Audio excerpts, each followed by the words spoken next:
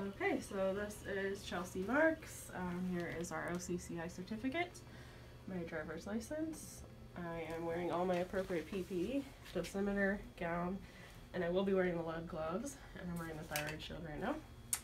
Um, we have our patient here positioned for a left lateral radius ulna view. We're going to be measuring the thickest point, which gives us three which according to our technique chart is 120 MA, 124 time, 5 MAS, and 65 kVp. So,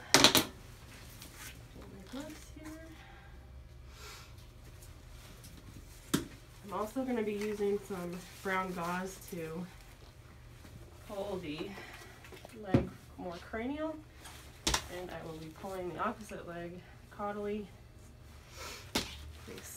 we don't have a left marker, so I'm going to be placing a backwards marker and adding a marker later.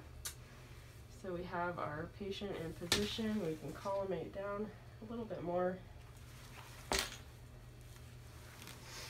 and take the view. And there is our shot.